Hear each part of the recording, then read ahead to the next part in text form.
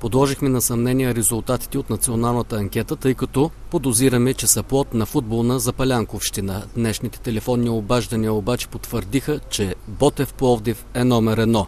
Това е първият футболен клуб в България, който за 100 години се превърна в институция. Заявиха доста възрастни хора, които помнят славното минало на отбора.